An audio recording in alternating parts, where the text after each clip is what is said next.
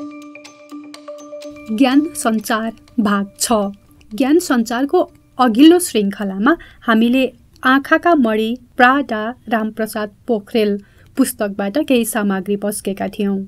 आज पनि सोही पुस्तकबाट आँखा उपचारको क्षेत्रमा महत्त्वपूर्ण योगदान पुर्याएर आँखाबा भनेर चिनिने डाक्टर पोखरेलका केही महत्त्वपूर्ण जानकारीमूलक सामग्री आजको ज्ञान सञ्चारमा। पृष्ठ पन्ध्र। लन्डनमा बिपी कोइरालासँग पोखरेलको भेट।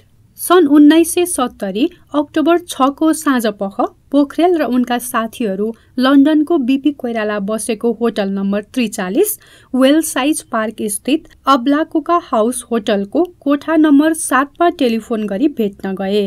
त्यस बेलाको होटलको सम्पर्क फोन नम्बर जेरो एक ड्यास सात सय बाइस ड्यास सतहत्तर सतहत्तर थियो। होटल चार्ज सुत्न र ब्रेकफास्टको गरी प्रतिदिन तिन पाउन्ड सोह्र सिलिङ तिर्नु पर्दथ्यो। पोखरेलसँग पुरानो एउटा गाडी थियो। त्यसैमा बिपीलाई राखी डिनर खान भनी चारैजना लिस्टर सोयरको पछाडि जिराट स्ट्रिटको चाइनिज रेस्टुराँमा साँझ छ बजे पुगे। त्यहाँ चार घन्टा जति नेपालको राजनीतिबारे कुराकानी भयो।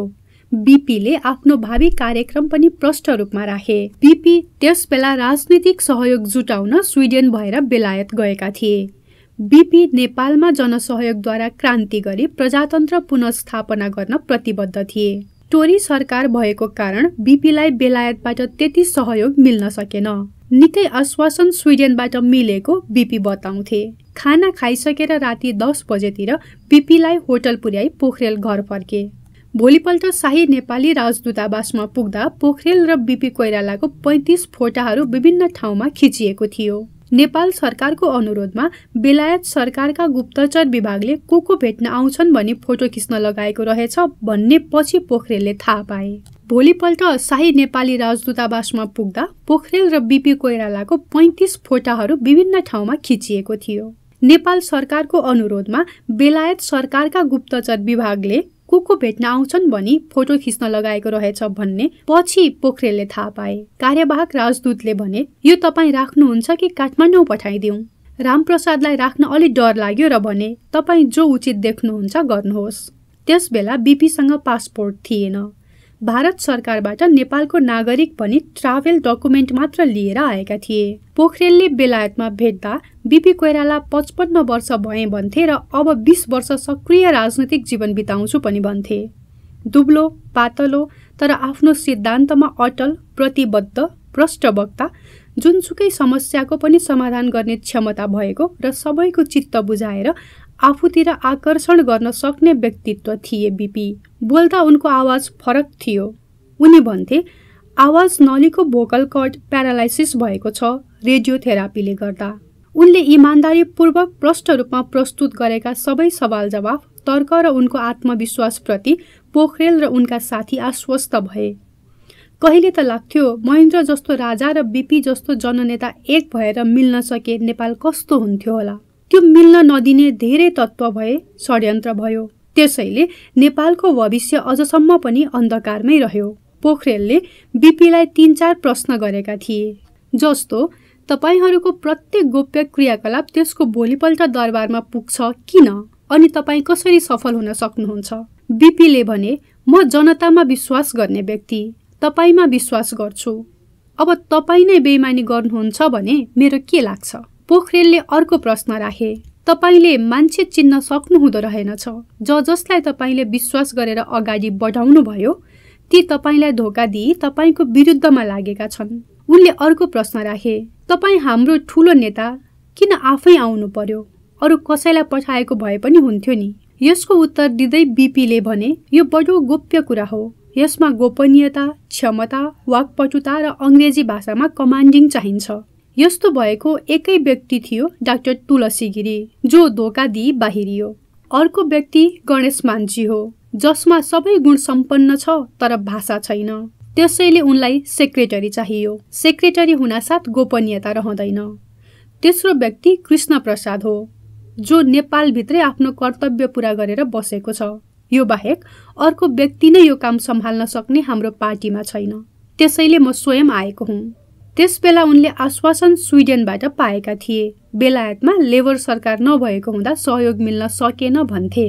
उनी लन्डन पुग्नुभन्दा पहिले नै उनको सम्पूर्ण गतिविधि बुझ्न कोसँग कहाँ के सम्पर्क गर्छ सुरागका लागि तत्कालीन गृह सचिव छत्र विक्रम राणा र आइजिपी रोम बहादुर थापा लन्डन पुगिसकेका थिए। डिनरका क्रममा बिपीले नेपालको विकास कसरी गर्ने आफ्नो भावी कार्यक्रम र जनताको जीवनस्तर कसरी उकास्ने भन्नेबारे धेरै व्याख्या गरे।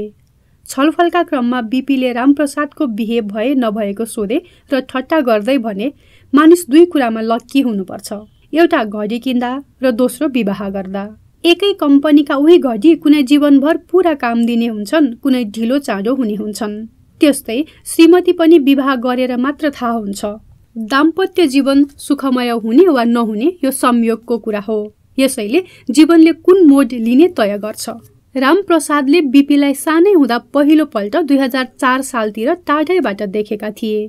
धनकुटाको सल्लाघारीको मूल सडकमा राति मैनटोल बालेर उकालो हिँडिरहेको बेला त्यस बेला विराटनगरको जुट मिल आन्दोलन गराएको अभियोगमा राणा सरकारले गिरफ्तार गरी देशद्रोहीको रूपमा धनकुटा लगी त्यहीँबाट पहाडको बाटो काठमाडौँ चलान गरेको समय थियो। रातिको आठ बजेको समय थियो। पोखरेल र उनका साथीले घरबाट टर्च लाइट लिए घर नजिकको जङ्गलबाट हेरेका थिए। त्यसबेला राणाका गुप्तचरहरूले देख्लान् भन्ने डर थियो। त्यसको केही दिनपछि रामप्रसादले राणा सरकारको विरुद्धमा एक कविता लेखे र कुनै सुरतले धनकुटा बडा हाकिमको दरबारको ढोकामा रातको एघार बजे टाँसेर आए। पछि त्यो थाहा पाएर रामप्रसाद गारतमा एक रात थुनामा परे। भोलिपल्ट नाबालक बनी खप्की खाई गाली गरेर छोडिदिए।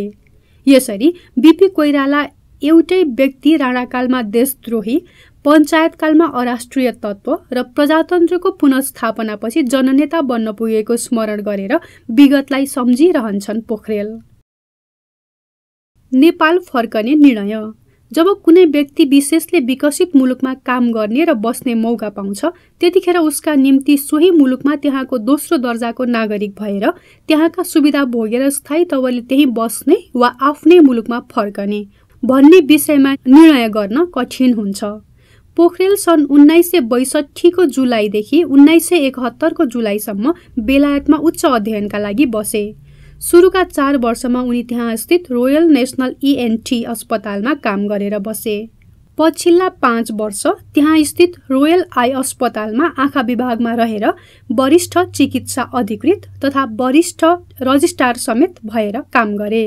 पोखरेल बेलायतमा रहँदा उनका धेरै साथीहरू अमेरिकातर्फ ग्रिन कार्ड पाएर उही स्थायी बसोबासका लागि सरेका थिए र उनलाई पनि जाउँ भनेका थिए। उनीहरूको सल्लाह बमोजिम पोखरेलले इसिएमएफजी बेलायतबाटै गरे। अमेरिकामा स्थायी काम पाउने भएर उही सर्ने तयारी गरे। बेलायतमा स्थायी रूपमा आँखा विशेषज्ञ भएर बसौँ कि अमेरिकातिर जाउँ अथवा नेपालमै फर्केर बाँकी जीवन सङ्घर्षतिर लगाउँ भन्ने निर्णयमा पुग्न रामप्रसादलाई कठिन भएको थियो। उनी भन्छन् अन्तत मैले अन्तिम बाटो रोजेँ र सन् उन्नाइस सय एकहत्तरको जुलाईमा काठमाडौँ फर्केँ। पृष्ठ दुई सय चौतिस काठमाडौँ मेडिकल कलेजको स्थापना र सञ्चालन। नेपाल आँखा अस्पतालको स्थापना तथा नेत्र स्वास्थ्य कार्यक्रमहरूको सञ्चालनमा गरेको सङ्घर्षबाट म आश्वस्त भएँ कि नेपालको विकास गुणस्तरीय शिक्षामै निर्भर रहेको छ। भारत अमेरिका बेलायत अस्ट्रेलिया जस्ता देशमा शिक्षा आर्जनका लागि भन्दै नेपालको असाध्यै ठुलो जनशक्तिको पलायन दिनदिन भइरहेको छ। बाहिर पुगेका अधिकांश नेपालीहरू त्यहाँको सुख सुविधा छाडेर वृद्ध वृद्ध मात्रको बनिसकेको देश नेपाल फर्केर आउँदैनन्। नेपाल एउटा सानो भूपरिवेष्टित देश भएका कारण यहाँ ठुला ठुला उद्योगहरू फस्टाउँदैनन्। किनकि तिनीहरूले ठुलो बजार र बाहिरी विश्वसँगको सजिलो निकास पाउँदैनन्। मलाई लाग्छ ठुलो जलसम्पदा भएका कारणले अब नेपालले जलविद्युत गुणस्तरीय शिक्षा पर्यटन तथा धार्मिक तीर्थयात्रामा बढी ध्यान दिनुपर्छ। हामीले गुणस्तरीय सेवा दिने स्वास्थ्य प्रतिष्ठान नेपालमा बनाउन सक्यौँ भने छिमेकी मुलुकहरूबाट समेत हामी कहाँ स्वास्थ्य सेवा लिन तथा तालिम लिनका लागि मानिसहरू आउनेछन्।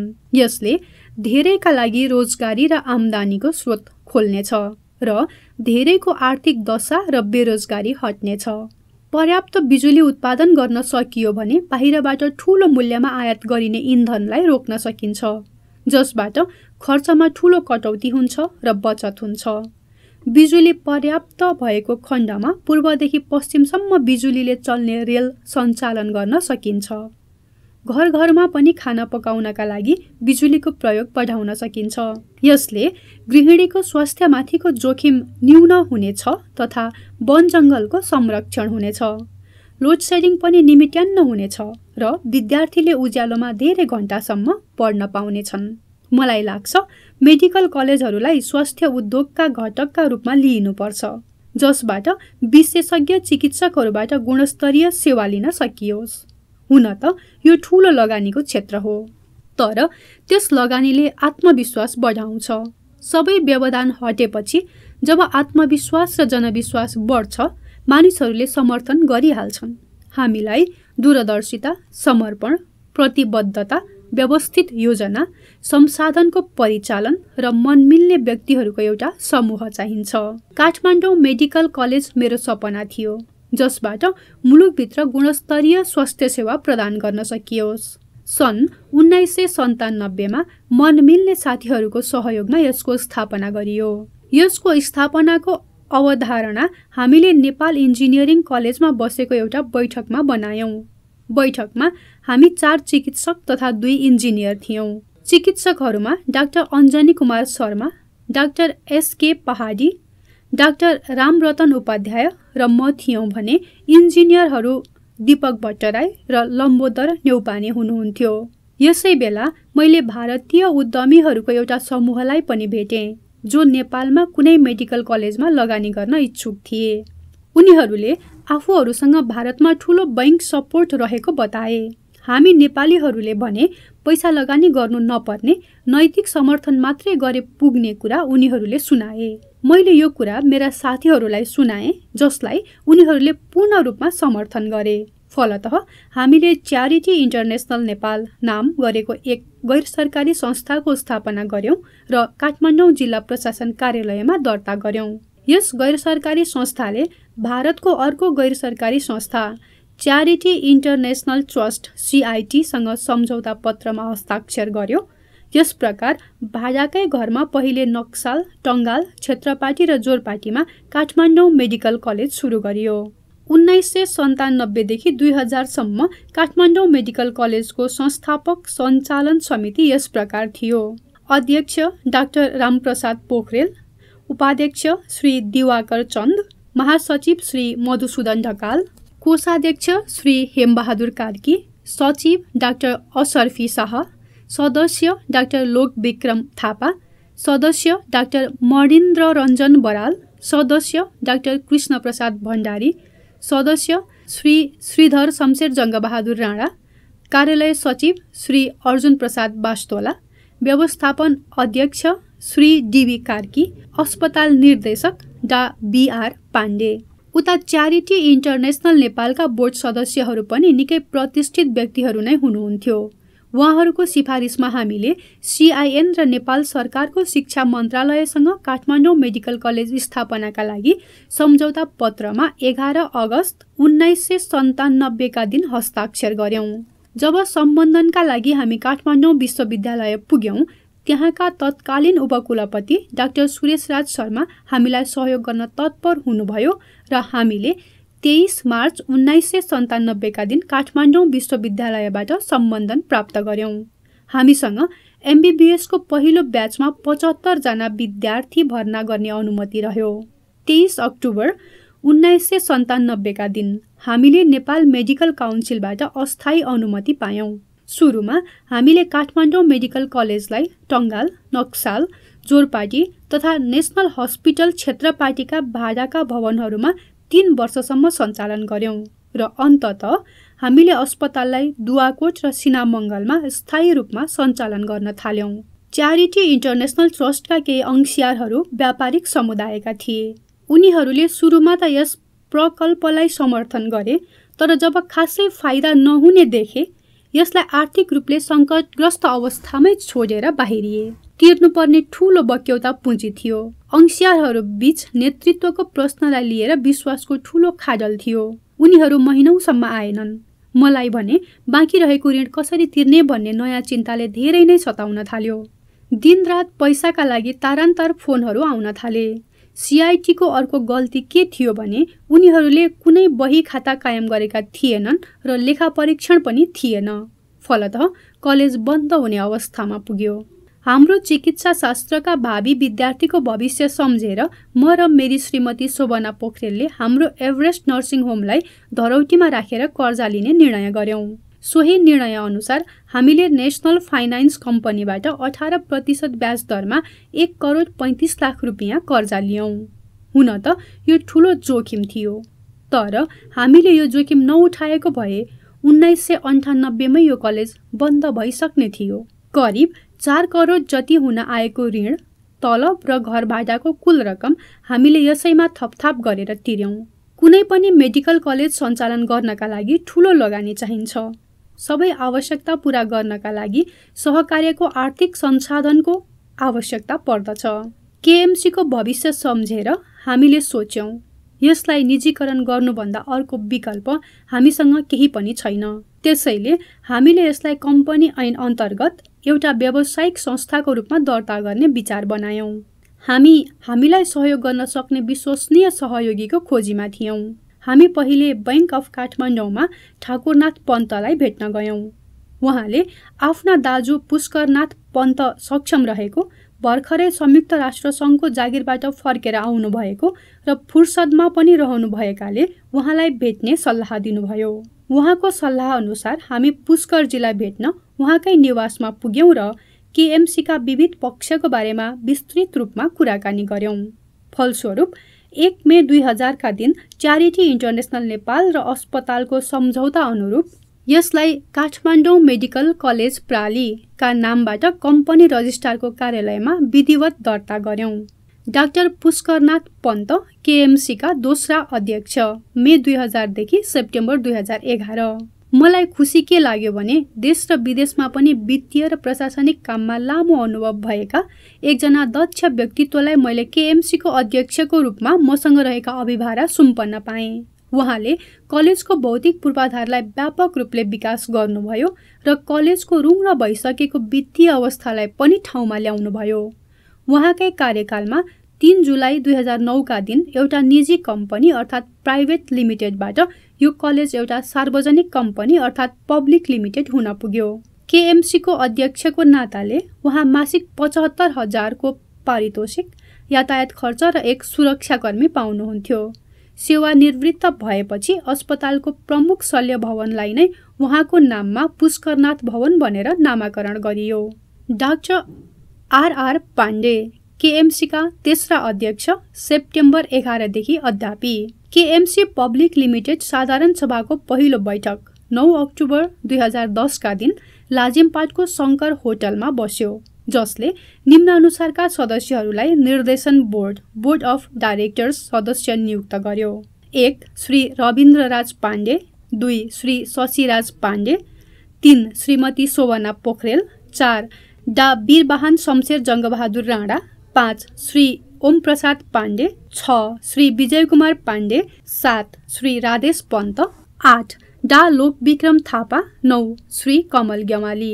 आरआर पाण्डेको कार्यकालमा अस्पतालले विशेष गरी पठन पाठनका सन्दर्भमा एउटा स्नातकोत्तर अध्ययन केन्द्रको रूपमा थप प्रगति गरेको छ। उहाँ बिना कुनै तलब यातायात खर्च र सुरक्षा मात्रै लिएर स्वयंसेवी हिसाबले काम गर्नुहुन्छ। यो सम्झँदा म अत्यन्तै प्रसन्न छु कि स्थापनाको सोह्र वर्षपछि आज केएमसी नेपालमै सबैभन्दा व्यवस्थित हिसाबले सञ्चालनमा रहेको एउटा मेडिकल कलेजको रूपमा स्थापित भएको छ। हामी हरेक वर्ष एमबिबिएसका लागि एक सय पचास बिडिएसका लागि तिस र बिएससी नर्सिङ अध्ययनका लागि तिस विद्यार्थीको भर्ना लिन्छौँ। आधार विज्ञान र सामान्य चिकित्सामा हामी स्नातक पछिका केही तालिमहरू पनि सञ्चालन गर्छौँ। नेपाल आँखा अस्पतालको स्थापना पृष्ठ दुई सय सोह्र।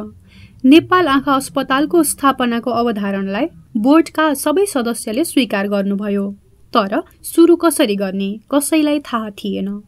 यो एउटा जटिल प्रश्न थियो। म त्यो बेला न्युरोडस्थित मेरै निजी क्लिनिकमा काम गर्दै थिएँ। सिके तुलाधरले त्रिपुरेश्वर वडा नम्बर एघारका प्रमुख टङ्कनाथ पोखरेललाई म कहाँ लिएर आउनुभयो। उहाँले त्रिपुरेश्वरमा रहेको अतिथि गृह जसलाई लागु पदार्थका अम्बलीहरूले दुरुपयोग गरिरहेका थिए। त्यसैलाई आँखा अस्पताल स्थापनाको लागि प्रयोग गरौँ भन्ने सल्लाह दिनुभयो। हामी त्यसको निरीक्षण गर्न गयौँ र पत्ता लायौँ। त्यो गुठी संस्थानको स्वामित्वमा रहेछ। लगत्तै हामीले गुठी संस्थानका अध्यक्ष अच्युतराज पाण्डेलाई भेट्यौँ र कुरा राख्यौँ। यो सबै निर्णय राजाले आफै गर्नुपर्ने भएकाले उहाँले आफूले केही पनि गर्न नसक्ने भन्ने जवाब फर्काउनुभयो। हामीले यो अनुरोध राजा श्री पाँच वीरेन्द्रसम्म पुर्याइदिन उहाँलाई नै अनुरोध गर्यौँ। राजा वीरेन्द्रबाट जवाफ आयो प्रधानमन्त्री र तपाईँ स्वयंलाई यो मन्जुर हुन्छ भने मबाट कुनै रोकटोक हुँदैन। यसपछि उहाँले प्रधानमन्त्रीको कार्यालय सिंहदरबारमा एउटा बैठक बोलाउनुभयो। हामीलाई त्यही डाक्नुभयो। म र बद्री विक्रम थापा त्यहाँ पुग्यौँ र प्रधानमन्त्रीलाई धर्मशालाको आधा भाग आँखा अस्पतालको स्थापनाका लागि हामीलाई उपलब्ध गराइदिन अनुरोध गर्यौँ। गुठी संस्थान आफैलाई त्यो जग्गा नचाहिने बेलासम्म आधा भाग नेपाल आँखा अस्पताललाई दिने भनेर निर्णय गरियो। हामी यही निर्णय लिएर गुठी संस्थानको पुतली सडक स्थित कार्यालयमा पुग्यौँ र संस्थानलाई नचाहिँदासम्मका लागि उक्त धर्मशालाको आधा भाग नेपाल आँखा अस्पताललाई दिने निर्णय भएको बेहोरा अनुरोध गर्यौं। यसको तुरुन्तै पछि हामी त्यस भवनको मर्मत सम्भारतिर लाग्यौं। धर्मशालाको पश्चिम भागको पुरै पुनर्निर्माण गर्यौं। बहिरङ्ग सेवा र शल्यक्रिया कक्षको पनि निर्धारण र मर्मत गर्यौं र सोह्र सय भएको नेपाल आँखा अस्पतालको तयारी पुरा गर्यौं। अन्तत श्री पाँच महाराजको राज्याभिषेकको वर्षगाँठको सन्दर्भ पारेर अधिराज कुमारी प्रेक्षा शाहबाट यस अस्पतालको उद्घाटन भयो। आँखा अस्पताल सुरु गरिएका बखत पैसा टेबल कुर्सी अथवा अन्य आवश्यक सरसामान केही पनि थिएन। हामीले सबै कुरा शून्यबाट सुरु गर्नुपर्ने स्थिति थियो। म निकै ठुलो मानसिक चिन्तामा थिएँ। अन्तत मैले मेरै घरमा रहेका टेबल कुर्सी र मैले लन्डनबाट करिब आठ हजार पाउन्ड तिरेर किनेका नेत्र चिकित्सासँग सम्बन्धित औजारहरू अस्पताललाई दान स्वरूप प्रदान गरे। नेपाल रेड क्रस सोसाइटीले केही थान स्लिट ल्याम्प दियो जो उसले जापानबाट उपहार स्वरूप प्राप्त गरेको थियो। वीर अस्पतालमा प्यारामेडिकल कर्मचारीको रूपमा काम गर्ने हरिप्रसाद सुवेदीले अब नेपाल आँखा अस्पतालमा पनि दिउँसोको समयमा स्वयंसेवीको रूपमा काम गर्न मन्जुरी दिनुभयो। कसैले पनि तलब नलिने हुनाले खासै ठुलो खर्च भएन। त्यसताका मैले नेपालमा व्याप्त अन्धताको समस्यालाई लिएर धेरै लेखहरू अखबारमा लेखेँ। Kathmandu rotary club lions club र अन्य सामाजिक सङ्गठनका कार्यक्रमहरूमा पनि मैले धेरैवटा प्रवचन दिएँ। केही मर्मत गरेपछि दिउँसो दुई बजेदेखि पाँच बजेसम्म बहिरङ्ग सेवा सुरु गरियो। अस्पताल शिशु अवस्थामै रहेको बेला हामीले एक लाख रुपियाँको अनुदान साल्ट ट्रेडिङ कर्पोरेसनबाट पायौँ। कर्पोरेसनमा त्यसबेला अनङ्गमान शेरचन अध्यक्ष हुनुहुन्थ्यो। हाम्रो संस्थाले पाएको यो नै सबैभन्दा ठुलो सहयोग थियो। र यसले हाम्रो हौसलालाई अझ मजबुत बनाइदियो। बोर्डका सदस्यहरू हरेक साता सहयोगका लागि कसै न कसै कहाँ धाइरहे। अस्पताल सुरु भएको दस महिनापछिको समय निर्धारण गरिएको थियो श्री पाँच महाराज धिराजको राज्याभिषेक समारोहका लागि। हामीले यो समयमा धर्मशालाको आधा भाग अपरेसन थिएटर र बाह्र सयको आँखा अस्पताललाई पूर्ण रूपमा मर्मत सम्हार गर्ने निदो गर्यौं। एनसिसिएनका प्रमुख बिबी शाहले निशुल्क रूपमै भवनको मर्मत गरिदिनुभयो। बोर्डका एकजना सदस्य तुलाराम दुगडले बाह्र सयहरू दान गर्नुभयो। कृषि विकास बैङ्कका अध्यक्ष दीर्घराज कोइरालाले बिजुली जडानका लागि पच्चिस हजार रुपियाँ सहयोग दिनुभयो भने लुनाकरण चौधरीले सरसफाइका सामान दान दिनुभयो। गणेशमान श्रेष्ठ र छिरिङ तेन्जिङ लामाले चुना लगाउने खर्च सहयोग गर्नुभयो। प्रेम नारायण काब्राले अपरेसन थिएटर निर्माणका लागि आफ्नो बुबा राधेश्याम काब्राको स्मृतिमा पन्ध्र हजार रुपियाँ सहयोग गर्नुभयो। अब भने बाह्र सयको यो अस्पताल तयार भयो र श्री पाँच महाराजा वीरेन्द्रको राज्याभिषेकको अवसरमा अधिराज कुमारी प्रेक्ष शाहबाट उद्घाटन हुनलाई अस्पताल पूर्ण तयारीको अवस्थामा आइपुग्यो। यसै अवधिमा वास्तुकार एफ वेबर जो एन्डी ली एन्ड एसोसिएट्सका उपाध्यक्ष पनि हुनुहुन्थ्यो। धोबीघाट स्थित हाम्रो घरमा बस्नुहुन्थ्यो। एक दिन उहाँले म र मेरी श्रीमतीलाई खाना खान बोलाउनुभयो। गफगाफकै क्रममा भन्नुभयो क्यानाडा सरकारले नेपाललाई सहयोग गर्ने भयो भने त्यो सहयोग कुन क्षेत्रमा होस् भन्ने चाहनुहुन्छ। मैले भने यो सहयोग पिउने पानी स्वास्थ्य क्षेत्र र मानव स्रोतको विकासमा होस् भन्ने चाहन्छु उहाँ सहमत हुनुभयो र दिल्ली स्थित क्यानेडियन राजदूतावासलाई यही सिफारिस पठाउनुभयो। मैले नेपाल आँखा अस्पतालमा आंशिक रूपमै काम गरिरहेको बेला भर्खरै स्थापना भएको त्रिवी शिक्षण अस्पतालसँग सम्बन्धित कुनै परियोजनामा काम गरिरहेका एकजना क्यानाडेली नागरिक म कहाँ आँखा जचाउन आइपुगे? स्लिट ल्याम्पले हेर्दा मैले उनको आँखाको कर्नियामा डेन्ड्रिटी अल्सर नामक रोग लागेको देखेँ। एक महिनाको उपचारपछि अल्सर निको भयो र उनी कुनै अर्को चिकित्सकको मत पनि लिन इच्छुक भए। मैले उनलाई लन्डन स्थित मुरफिल्ड आँखा अस्पताल जान भने। ती सज्जन लन्डन गएछन् र मैले भने अनुसारै आँखाको जाँच गराएछन्। ती चिकित्सकले उनलाई भनेछन् नेपालको त्यही डाक्टर कहाँ फर्केर जाऊ? उनले गरेको भन्दा राम्रो यो रोगको कुनै उपचार हुँदैन। फर्केपछि मलाई उनले सबै कथा सुनाए र मलाई मेरो सेवा बापतको शुल्क दिन चाहेको कुरा भने। कति लाग्छ? उनले सोधे। मैले भने मलाई पैसा चाहिँदैन तर तपाईँ मलाई सहयोग गर्न इच्छुक हुनुहुन्छ भने यहाँ एउटा गतिलो आँखा अस्पताल चाहिएको छ। यो कुरा तपाईँ दिल्ली स्थित तपाईँको दूतावासलाई भनिदिन सक्नुहुन्छ। भाग्यवश भारतका लागि तत्कालीन क्यानेडियली राजदूतकी पत्नी उहाँकी आफ्नै बहिनी रहेछन्। यी सज्जनको अनुरोध पश्चात दिल्ली स्थित क्यानाडाली दूतावासका प्रथम सचिव डेभिड भिज तथ्य सङ्कलन गर्न नेपाल आए। मैले उनीसँग एउटा गतिलो आँखा अस्पतालको ठुलो आवश्यकता रहेको कुरा अवगत गराएँ। उनले दूतावाससँग ठुलो रकम नरहेको कुरा बताएर भने हामी सहयोग स्वरूप पाँच हजार अमेरिकी डलर दिन सक्छौँ तर हामी तपाईँको यो अवस्थाको जानकारी क्यानाडाको एउटा ठुलो अन्तर्राष्ट्रिय गैर सरकारी संस्थालाई दिन सक्छौँ र सहयोगका लागि सिफारिस गर्न सक्छौँ। तपाईँहरूले चाहेको खण्डमा उनीहरू सहयोगका लागि नेपाल आउन सक्छन्। त्यो बेला नर्सिङका विद्यार्थीको तालिमका लागि मलाई पैसाको ठुलो खाँचो परिरहेको थियो। सुरेन्द्र भवनबाट मैले आठजना नर्सहरू नियुक्त गरेको थिएँ। यो रकम मैले तिनै छात्रहरूलाई पद्मकन्या उच्च माविमा दुई वर्ष पढाउनका लागि खर्च गर्ने निर्णय गरेँ। ती केटीलाई तिम्रो बुबा को हो तिम्रो घर कहाँ छ भनेर अरूले बेला बेलामा गिज्याउने गरेका रहेछन्। उनीहरू आँखाभरि आँसु लिएर म कहाँ आउँथे र के जवाफ दिनु भनेर सोध्थे। उनीहरू आफू खोकना कुष्ठरोग शिविरबाट आएको कुरा भन्न चाहँदैनथे। मैले उनीहरूलाई भने हामी धनकुटाका हौँ र डाक्टर पोखरेल हाम्रा दाई हुन् भन्नु। मैले यति भनेपछि उनीहरू चुप लागे। डेभिड भिच आएको दुई महिनापछि ओयु क्यानाडाको तर्फबाट आर्थर जेन्किन्स नाम गरेका एकजना व्यक्ति काठमाडौँ आउँदैछन् भन्ने मैले जानकारी पाएँ। मैले उनको बसाई मेरै पुल्चुक स्थित घरमा आरामका साथ गराउने निधो गरेँ। उनी आएपछि मैले उनीसँग अन्धतासँग सम्बन्धित सबै समस्याको विस्तृत चर्चा गरेँ र आफू पूर्वाधार र जनशक्तिको भीषण अभाव बीच पनि एक्लै सङ्घर्षरत रहेको कुरा बताएँ। मेरो भनाइको उद्देश्य क्यानेडाली सहयोगबाट काठमाडौँमा एउटा गतिलो आँखा अस्पतालको स्थापना गर्नु थियो। मैले मेरै निवासमा हाम्रो बोर्डका सबै सदस्य त्रिभुवन विश्वविद्यालयका उपकुलपति स्वास्थ्य क्षेत्रमा नीति निर्माणसँग जोडिएका स्वास्थ्य सचिव स्वास्थ्य सेवा विभागका महानिर्देशक र समाजका अन्य प्रतिष्ठित व्यक्तिहरूलाई समेत बोलाएर एउटा संयुक्त भोजको आयोजना पनि गरेँ। अन्त्यमा उनले नेपाल आँखा अस्पताल निर्माणको हाम्रो अभियानलाई सहयोग गर्ने निर्णय गरे। आर्थर जेन्किन्सको सिफारिसमा अपरेसन आइसाइट इन्टरनेसनल नामक क्यानेडेली संस्थाको नेपाली जनतालाई उपहार हो नेपाल आँखा अस्पताल। प्रस्तावित जग्गामाथि एकजना व्यापारीको अनधिकृत कब्जा थियो। प्रधानमन्त्रीसँग उनको निकटको सम्बन्ध रहेछ।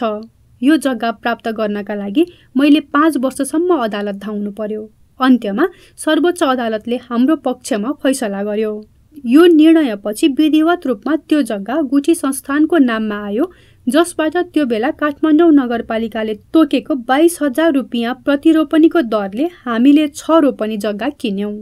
अहिले यो जग्गा नेपाल आँखा अस्पतालकै नाममा काठमाडौँ जिल्ला प्रशासन कार्यालयमा दर्ता गरिएको छ। पाँच वर्षसम्म मैले ठुलो सङ्घर्ष गरिरहनु पर्यो।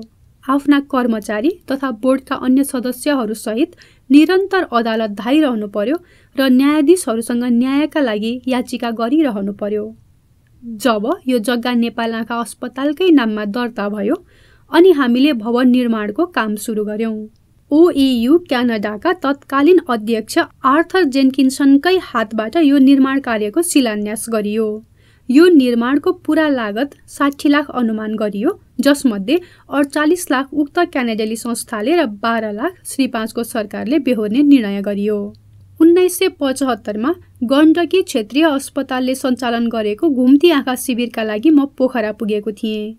त्यहाँ ग्रिन पेस्चर लेप्रोसी हस्पिटलमा कुष्ठरोग निवारणका लागि काम गर्ने एकजना जर्मन डाक्टरसँग मेरो भेट भयो।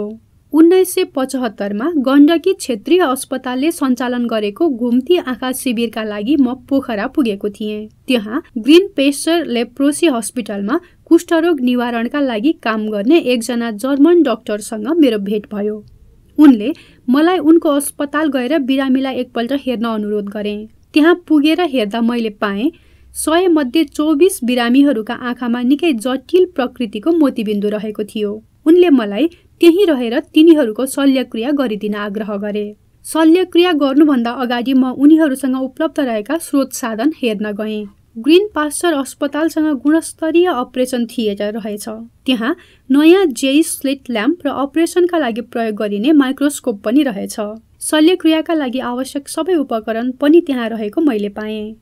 जर्मनीमा बनेका गुणस्तरीय उपकरण देख्दा मलाई त्यहीँ रहेका बिरामीको शल्यक्रिया गर्ने लोभ जाग्यो। पछि मैले उनीहरूलाई भने पोखरामा आँखाको कुनै पनि शल्य चिकित्सक छैन। यी उपकरण के गर्नुहुन्छ तपाईँहरू? बरु नेपाल आँखा अस्पताललाई दान दिनुहोस्। उनले भने यो सबै सामान सिबिएमका हो। त्यसैले म तपाईँलाई दिन सक्दिनँ। तर तपाईँको इच्छा म सिबिएमसम्म पुर्याइदिन चाहिँ सक्छु। पोखराबाट उनीहरूको सिफारिस गएपछि सिबिएमका एकजना प्रतिनिधि काठमाडौँ आए र नेपाल आँखा अस्पतालमा मलाई भेट्न आइपुगे। मैले नेपालमा व्याप्त अन्धताको समस्या र सहयोगको आवश्यकताबारे उनलाई धेरै कुरा भने। हाम्रो अनुरोधमा सिबिएमले हामीलाई नियमित रूपमा सहयोग गर्न थाल्यो। उन्नाइस सय छयत्तरदेखि नेपाल आँखा अस्पतालमा रहेका ceiling light Zeiss operating microscope slit lamp Boyle's anaesthetic equipment र अन्य धेरै उपकरणहरू क्रिस्टोफर ब्लाइन्डेन मिसन सिबिएम जर्मनीकै देन हुन्। उनीहरूले हामीलाई कर्मचारीको तलब तथा घुम्ती शिविरको खर्चका लागि पनि नियमित रूपमा सहयोग दिइरहे। उन्नाइस सय चौहत्तरमा जापानका डाक्टर इतारु कुरोजोमीलाई भेटे। उनी नेपालमा नेत्र चिकित्साको क्षेत्रमा केही सहयोग गर्नका लागि आएका रहेछन्।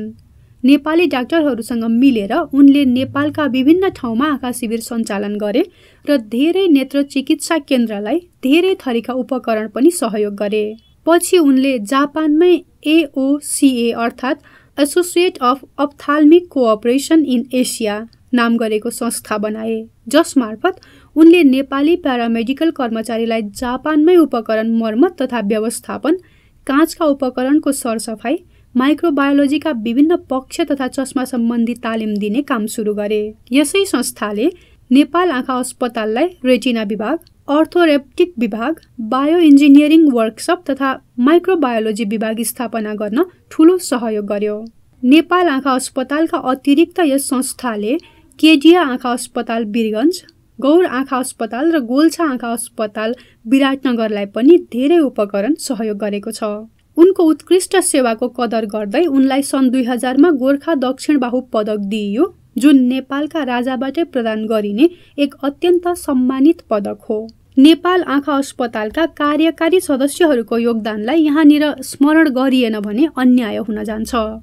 एक मणि हर्ष ज्योति उच्च कोटिका उद्योगी र स्वच्छ छविका व्यक्तित्व र हाम्रा संस्थापक कोषाध्यक्ष। उहाँले हाम्रो लेखा र वित्तीय अभिभार सम्हाल्नुभयो। उहाँको सहयोग महत्त्वपूर्ण रह्यो।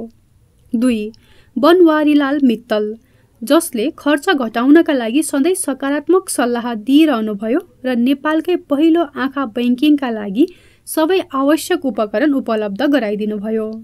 तिन राजकृष्ण श्रेष्ठ एकजना उच्च तहका व्यवसायी एवं ठेकेदार जसले आँखा अस्पतालको नयाँ भवन निर्माणमा महत्त्वपूर्ण सहयोग पुर्याउनुभयो। चार कमलमणि दीक्षित। शिक्षा क्षेत्रका एक अग्रणी व्यक्तित्व बोर्डको बैठकमा सधैँ समयनिष्ठ र तत्काल गर्नुपर्ने निर्णयमा सधैँ मेरा एक महत्त्वपूर्ण सहयोगी। पाँच बद्री विक्रम थापा। एकजना असल समाजसेवी एवं दक्ष प्रशासक जसले अस्पताल निर्माणका प्रारम्भिक चरणमा धेरै सहयोग जुटाउनुभयो र नेपाल आँखा अस्पतालको निर्माणमा धेरै ठुलो सहयोग पुर्याउनुभयो। छ जनरल रवि शमशेर राणा अध्यक्ष। त्यसबेला उहाँको उपस्थितिले अस्पतालको निर्माण र सञ्चालनमा ठूलो योगदान पुर्यायो। सात श्रीमती शोभना पोखरेल। मेरी श्रीमती जसबाट अस्पताल निर्माणका विभिन्न चरणमा महत्त्वपूर्ण सल्लाहहरू आइरहे र नेपाल आँखा अस्पतालको बगैँचा निर्माणमा तीन महिना निशुल्क काम गरेर ठुलो योगदान पुर्याउनुभयो। यसै गरी म नेपाल सरकारको स्वास्थ्य मन्त्रालय समाज कल्याण परिषद राष्ट्रिय योजना आयोग नेपाल सरकारको अर्थ मन्त्रालय तथा हामीलाई सहयोग पुर्याउने सम्पूर्ण सङ्घ संस्थाप्रति सहयोग र सदाशयताका लागि हार्दिक धन्यवाद ज्ञापन गर्दछु।